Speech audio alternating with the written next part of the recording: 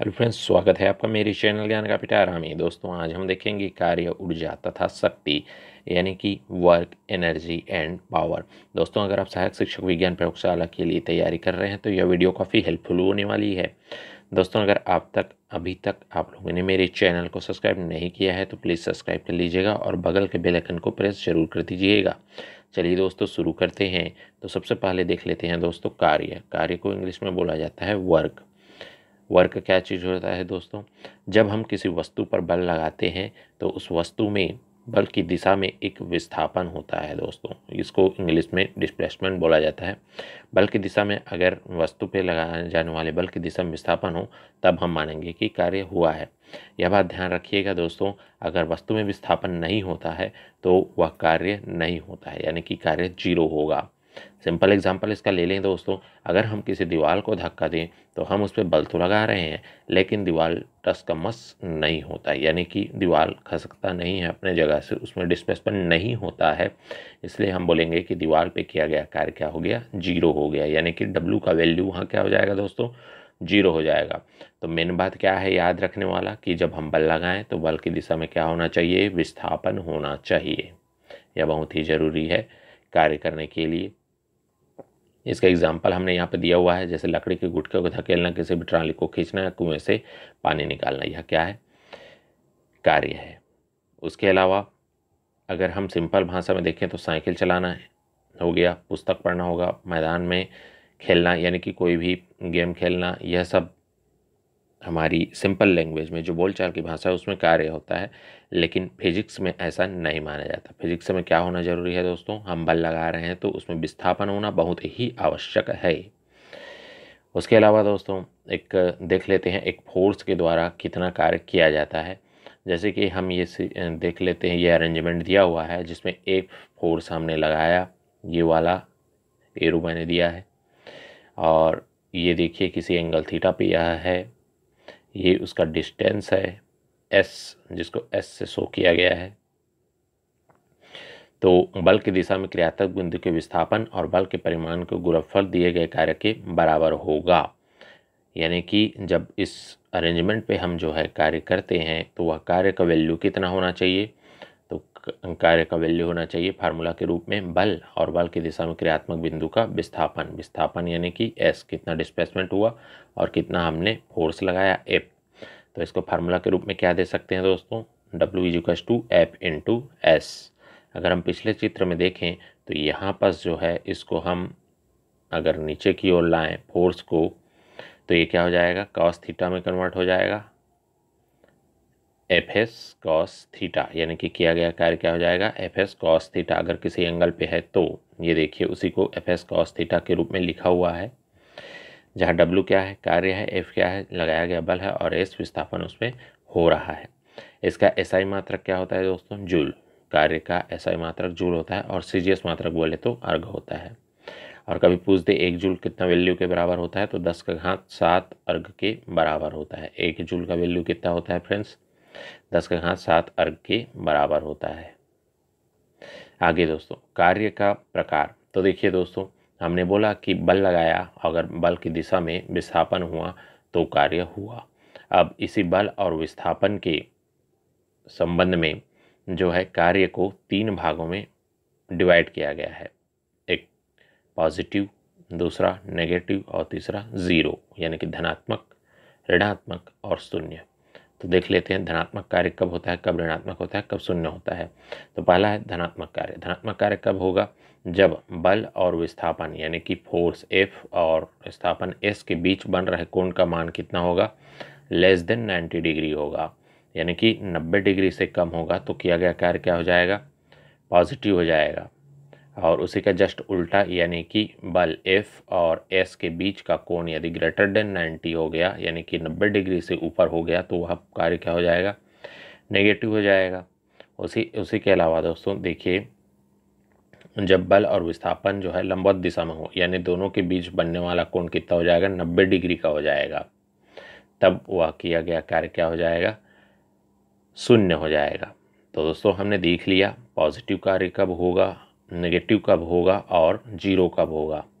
सबसे पहले केस में जो है लेस देन नाइन्टी होना चाहिए, तब पॉजिटिव होगा ग्रेटर देन नाइन्टी होगा तो नेगेटिव होगा और इक्वल देन नाइन्टी होगा तो वह कार्य क्या हो जाएगा? शून्य हो जाएगा। अब इनके एक एक के उदाहरण देख लेते हैं।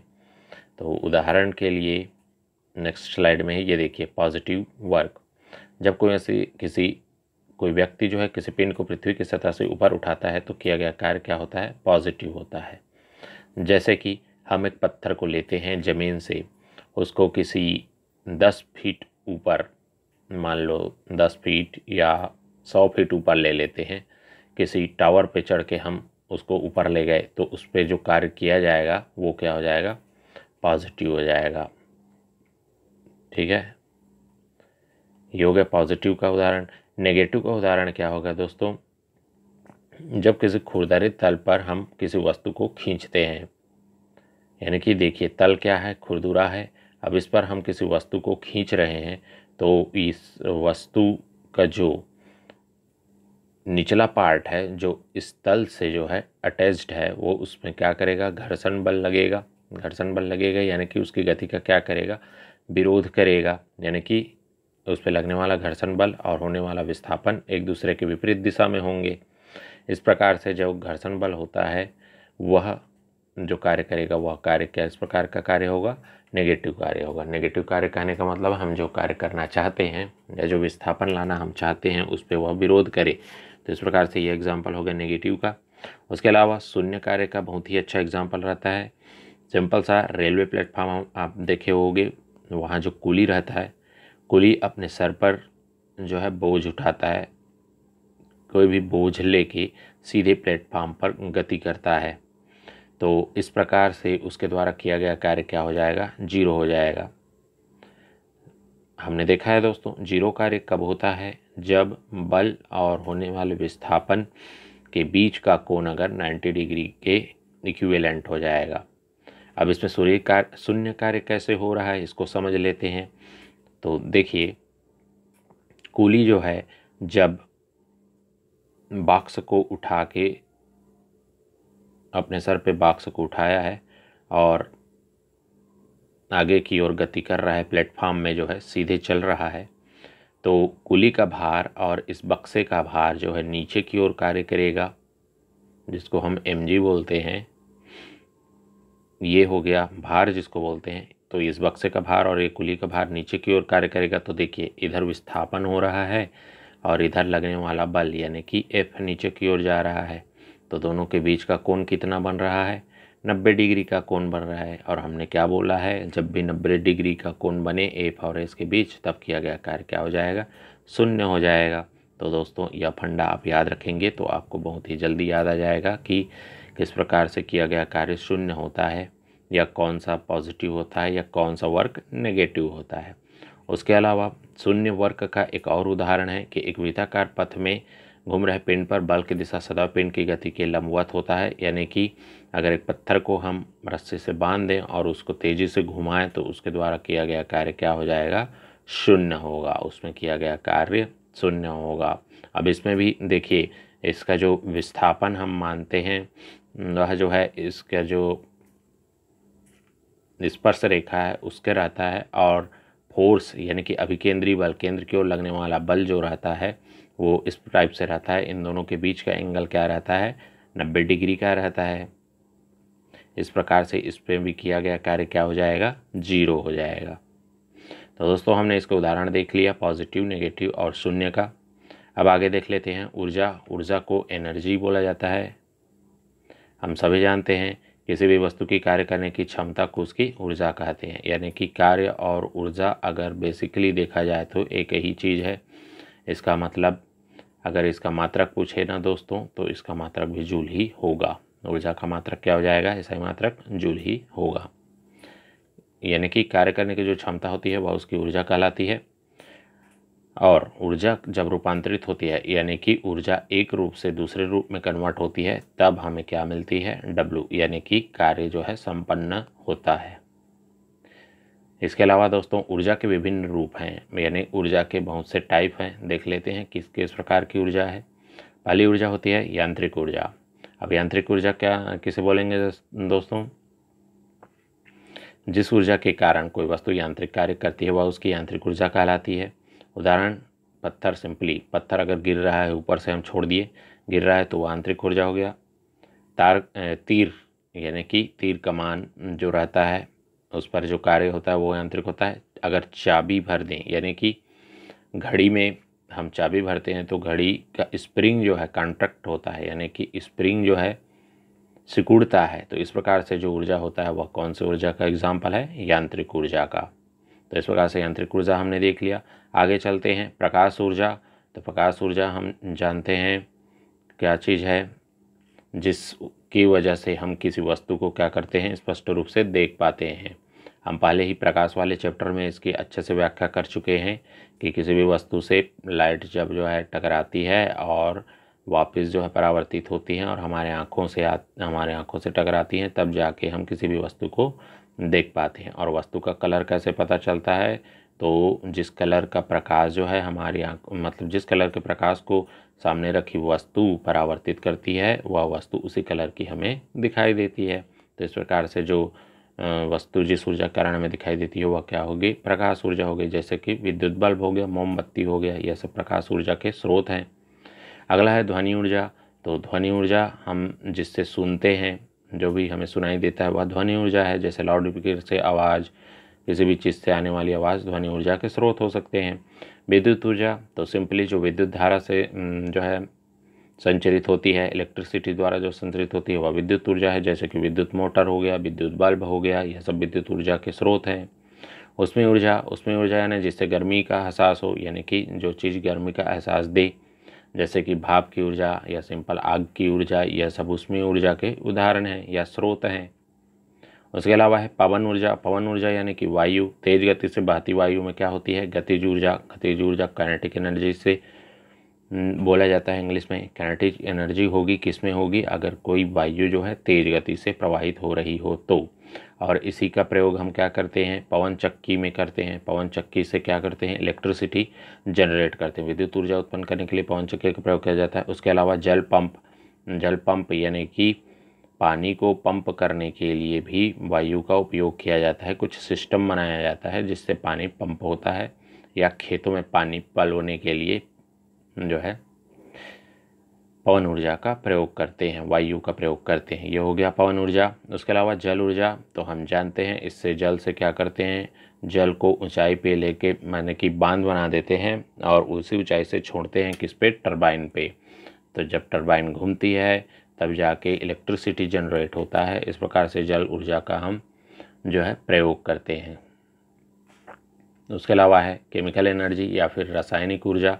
किसी भी पदार्थ के परमाणुओं के रासायनिक बंध के कारण जो ऊर्जा होती है, वह उसकी क्या कहलाती है? रासायनिक ऊर्जा कहलाती है। उदाहरण, लकड़ी को जलाएँ, कोयला को जलाएँ, पेट्रोलियम इत्यादि को जलाएँ तो उससे क्या होती है? ऊर्जा विमुक्त होती हैं और हम विभिन्न यंत्रों को चला पाते हैं। उसके अलावा है जैव ऊर्जा तो जैसे गोबर गैस हो गया, कचरा हो गया इत्यादि से जो ऊर्जा मिलती है हमें, उसको जैव ऊर्जा बोलते हैं, जैसे कि मेथेन गैस मेथेन गैस का प्रयोग जो है ईंधन के रूप में कर सकते हैं। यह जैव ऊर्जा का एक उदाहरण है। उसके अलावा सौर ऊर्जा तो हम सब जानते हैं सौर ऊर्जा सूर्य से प्राप्त होने वाली ऊर्जा। सौर ऊर्जा जो है मुख्य स्रोत है, प्रमुख स्रोत है इस संसार का। यह जो है प्रत्यक्ष या अप्रत्यक्ष रूप से हम ऊर्जा के रूप में इसको ग्रहण करते हैं।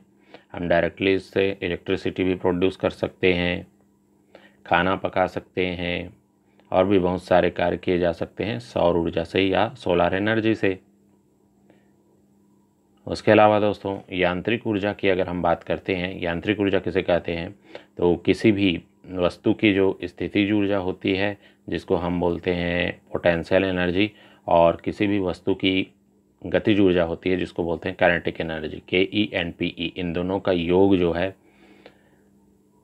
यांत्रिक ऊर्जा कहलाती है। यानी कि गतिज ऊर्जा और स्थितिज ऊर्जा को जब हम ऐड कर देते हैं तो वह क्या कहलाती है? यांत्रिक ऊर्जा कहलाती है। अब यह यांत्रिक ऊर्जा कितने टाइप की होती है? दो टाइप की। कौन कौन सी? तो एक गतिज और एक स्थितिज ऊर्जा। गतिज ऊर्जा और स्थितिज ऊर्जा। सबसे पहले हम देखते हैं गतिज ऊर्जा। तो गतिज ऊर्जा क्या है? जब भी कोई गति करती है तो उसमें ऊर्जा संचित होती रहती है या ऊर्जा संचित उसमें होती है।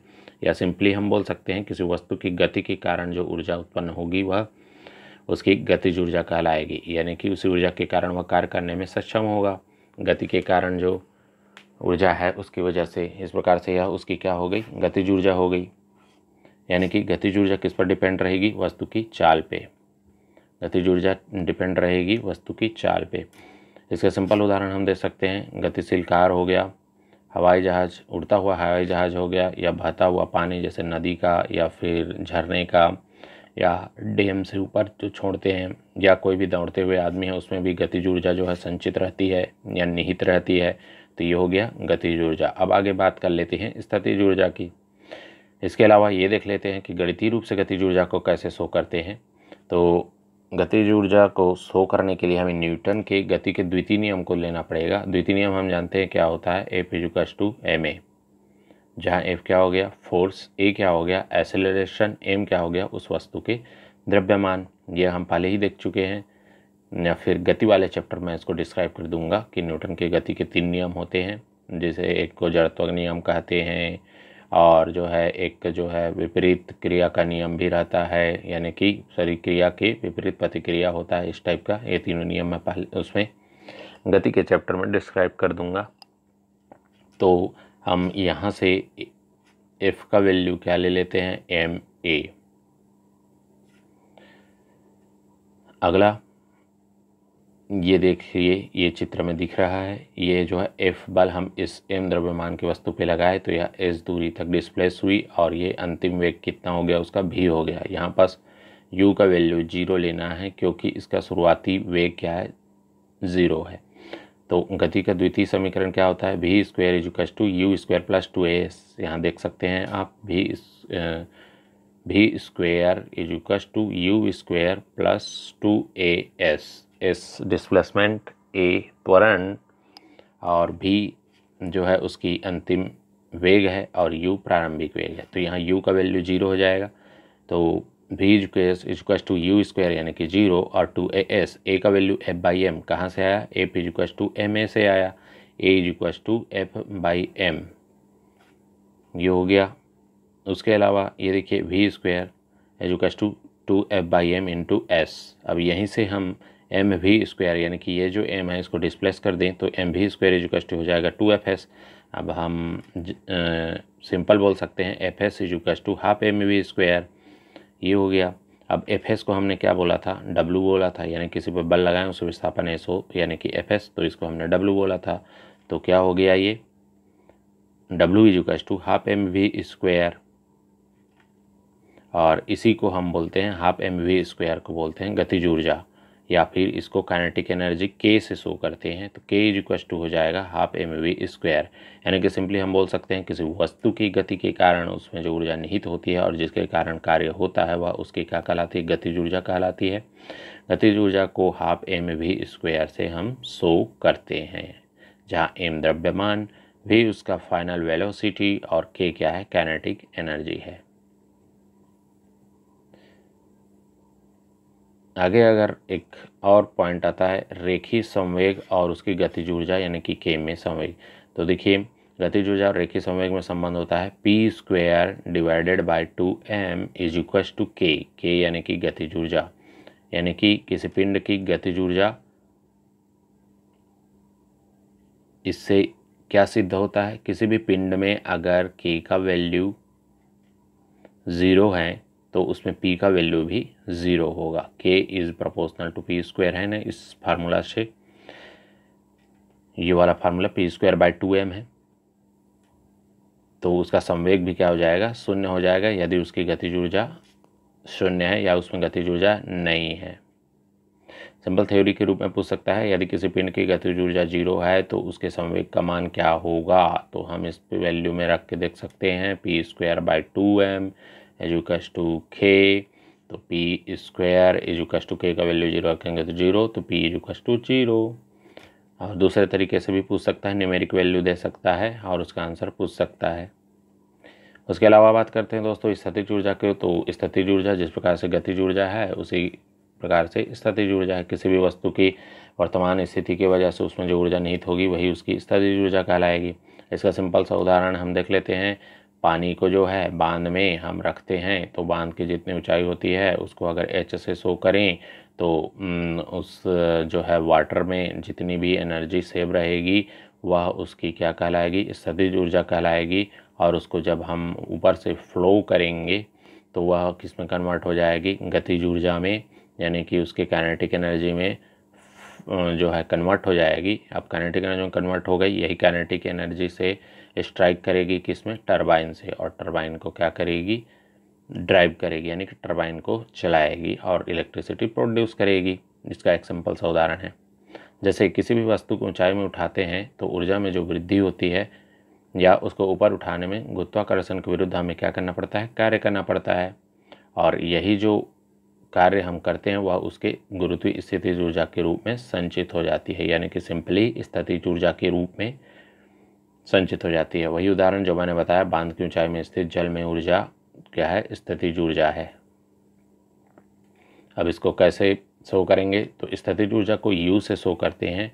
इसका वैल्यू होता है M G into H M क्या है? द्रव्यमान है। जी क्या है? गुरुत्वीय तरण है nine point eight metre per second उसके अलावा ऊंचाई जो है हाइट यहाँ एच से शो करते हैं। हाइट है, जितनी हाइट तक की उसको लेके गए हैं। इस प्रकार से एम जी एच से शो किया जाएगा किसको? स्थिति ऊर्जा को। या स्थिति ऊर्जा को सिंपल लिख सकते हैं, द्रव्यमान, गुणित त्वरण गुणित, ऊंचाई। तो ये हो गए आपकी गतिज ऊर्जा और स्थितिज ऊर्जा और उनके व्यंजक, यानी कि उनको फार्मूला के रूप में हम कैसे शो करते हैं। ये देखिए, इसको उदाहरण देख समझाया गया है। ये पृथ्वी का तल है। इसको एच हाइट तक उठाया गया है। ये एम जी एम जी के जो है अपोज। एम जी जो है हम जानते हैं किसी भी वस्तु का क्या होता है? भार होता है सॉरी भार होता है। यह भार जो है पृथ्वी के केंद्र की ओर कार्य करता है, यानी नीचे की ओर सेंटर की ओर कार्य करता है। अब हम इसको ऊपर ले जाएँगे तो हमें एम जी को जो है काउंटर करने के लिए एमजी फोर्स लगाना पड़ेगा, इसलिए यहाँ पास एफ़ का वैल्यू कितना लिखा हुआ है? एम जी लिखा हुआ है और उसको कहाँ तक लेके गया? एच तक गया। तो इस वस्तु में जो ऊर्जा संचित होगी वह एम जी एच होगी और इसी को क्या बोलेंगे हम? स्थितिज ऊर्जा बोलेंगे। ठीक है? उसके अलावा ऊर्जा संरक्षण के नियम आप सब जानते हैं कि ऊर्जा को ना तो उत्पन्न किया जा सकता है, ना नष्ट किया जा सकता है, उसका रूप केवल रूप परिवर्तन होता है। आप सब जानते हैं कि ऊर्जा नियत रहती है। इसे ऊर्जा संरक्षण का नियम बोला जाता है। ऊर्जा जो है, एक फार्म से दूसरे फार्म में बस कन्वर्ट होता है। उसी प्रकार से यांत्रिक ऊर्जा में भी संरक्षण का नियम लागू होता है। अगर संरक्षित बलों के प्रभाव में कुल यांत्रिक ऊर्जा नियत रहती है, संरक्षी बलों का प्रभाव। संरक्षी बल कहने का मतलब है दोस्तों, अगर घर्षण बल को नगण्य मान लिया जाए, तब। तब के केस में क्या हो जाएगा? कुल बलों का या कुल यांत्रिक ऊर्जा नियत रहती है। यानी कि यहाँ पास देखिए के दिया हुआ है प्लस यू दिया हुआ है एजुकस टू ई दिया हुआ है। के यानी कि कैनेटिक एनर्जी यू यानी कि स्टैटिक एनर्जी और ई e यानी कि उसकी यांत्रिक एनर्जी और यहाँ पर ये दिया हुआ है ये चौकोर चौकोर हो गया, प्रिंटिंग मिस्टेक है, डेल के दिया हुआ है प्लस डेल यू, यानी कि change in kinetic energy del K का मतलब होता है change in kinetic energy del U change in static energy एजुकस to zero यानी कि दोनों में जो बदलाव होता है, उनका कुल योग अगर ज़ीरो है, या ये बोल सकते हैं कि यहाँ पर जो हमने जो यांत्रिक ऊर्जा है, वह नियत रहती है, हम बोल रहे हैं ऊर्जा संरक्षण के नियम से तो वैल्यू क्या हो जाएगी? ज़ीरो हो जाएगी। यहाँ पर से क्या आ जाएगा? डेल के का वैल्यू क्या हो जाएगा? माइनस डेल यू, यानी कि किसी ने कहा कि अगर गतिज ऊर्जा में हम वृद्धि करते हैं तो उसकी स्थिति ऊर्जा में क्या हो जाएगी? कमी हो जाएगी। केवल यही पॉइंट इसमें समझाया गया है कि निकाय की अगर काइनेटिक एनर्जी में हम इंक्रीमेंट करें तो उसके स्टैटिक एनर्जी यानी कि स्थितिज ऊर्जा में जो है कमी आने लगेगी। ये कौन से फार्मूला से शो होता है डेल के इजिक्वस टू माइनस डेल यू से। आगे देख लेते हैं दोस्तों। पावर, जिसको शक्ति बोलते हैं या सामर्थ्य बोलते हैं। तो पावर क्या है? कार्य करने की दर। दर को, देख, याद रखिएगा। कार्य करने की जो क्षमता है, वह तो ऊर्जा कहलाती है, जबकि कार्य करने की जो दर है, वह दर है, वह जो है पावर कहलाती है, यानी कि शक्ति कहलाती है। अगर टी सेकेंड में, देखिए इसको फार्मूला के रूप में कैसे शो करते हैं, टी सेकेंड में डब्लू कार्य किया जाए तो शक्ति यानी कि पी की वैल्यू हो जाएगी W by T P is equals to W by T या तात्क्षणिक शक्ति, तात्क्षणिक मतलब किसी क्षण पे, यानी कि एक स्पेसिफिक टाइम पे उसकी शक्ति कितनी है, या उसकी तात्क्षणिक शक्ति कहलाएगी D W divided by D T D W यानी small changes in W small changes in T तो देखिए डब्ल्यू का वैल्यू क्या होता है?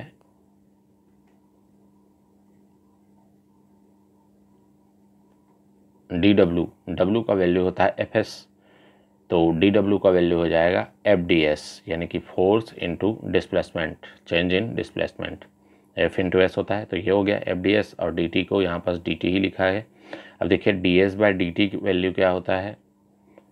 यानी कि चली गई दूरी बटा समय क्या होता है? चाल के बराबर होता है। तो इसको क्या लिख दिया है? भी से शो कर दिया है। ये देखिए एफ़ वी यानी कि F D S by D T को एफ़ भी लिख दिया है।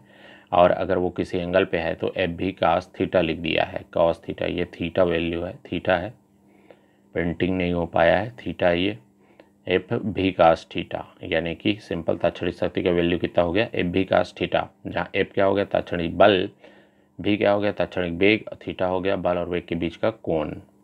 इसका ऐसा मात्रक जूल पूछे, दोस्तों ऐसा मात्रक पूछे, जूल प्रति सेकेंड हो जाएगा। क्यों? डब्लू का होता है जूल और टी का होता है सेकेंड तो जूल प्रति सेकेंड यानी और इसी को क्या बोलते हैं? बाट बोलते हैं। यानी कि एक जूल प्रति सेकेंड का वैल्यू कितना होता है? तो एक बाट के बराबर होता है। उसी प्रकार से हार्स पावर होता है। इसके अलावा दोस्तों कुछ क्वेश्चन ऐसे पूछते हैं कि एनर्जी के जो है किस फॉर्म में चेंज होता है? जैसे कि मोमबत्ती है यहाँ पर देखिए मोमबत्ती है। मोमबत्ती कैसे एनर्जी को चेंजेस करता है? तो मोमबत्ती जो है केमिकल एनर्जी को लाइट या फिर हीट यानी कि प्रकाश और उष्मा में कन्वर्ट करता है। आ, इसमें सिंपली क्वेश्चन पूछ सकता है कि ऐसी कौन सी युक्ति है जो कि रासायनिक ऊर्जा को प्रकाश ऊर्जा या फिर उसमें ऊर्जा में कन्वर्ट करता है? ऑप्शन दे दिया विद्युत बल्ब विद्युत सेल, सोलर सेल, मोमबत्ती। तो आंसर क्या आएगा? मोमबत्ती। केमिकल एनर्जी को किसमें?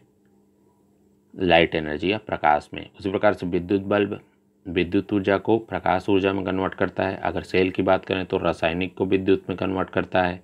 सोलर सेल, सोलर ऊर्जा को विद्युत ऊर्जा में मोमबत्ती हमने बता ही दिया है रासायनिक को, उष्मा में या प्रकाश में।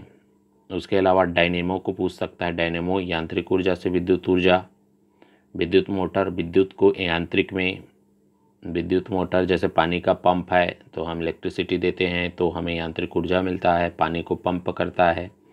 लाउड स्पीकर ध्वनि एनर्जी में, यानी कि ध्वनि ऊर्जा में, साउंड एनर्जी, विद्युत से ध्वनि।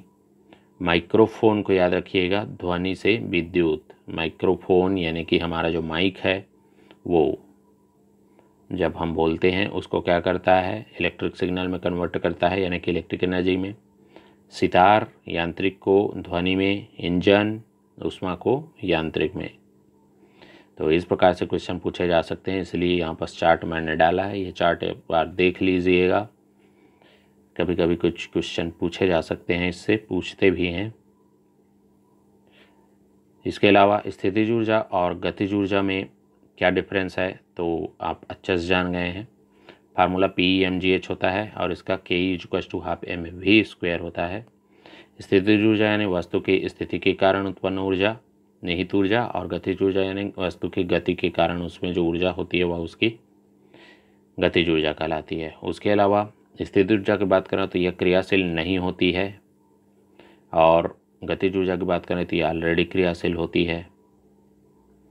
उसके अलावा एच पर यह डिपेंड करता है, जबकि यह एच पर डिपेंड नहीं करता, यह किस पर डिपेंड करता है? वी पर। वी यानी कि वेलोसिटी पर डिपेंड करता है।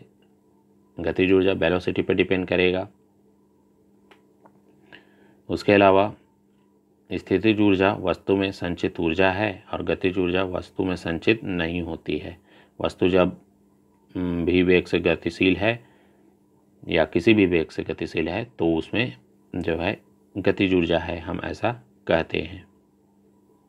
तो इस प्रकार से कुछ बेसिक डिफरेंस है, जो यहाँ पर दिखाया गया है। आगे, शक्ति और ऊर्जा में अंतर। तो देखिए, ऊर्जा क्या है? कार्य करने की क्षमता ऊर्जा है, जबकि कार्य करने का दर क्या है? शक्ति है। ऊर्जा का ऐसा ही मात्रक माने तो कार्य के बराबर होता है, यानी कि जूल। शक्ति का मात्रक क्या होता है? जूल प्रति सेकंड या फिर बाट हमने देखा है ना P equals to W by T W का हो गया जूल टी का हो गया सेकेंड यानी कि जूल प्रति सेकेंड इसको बाट भी बोला जाता है।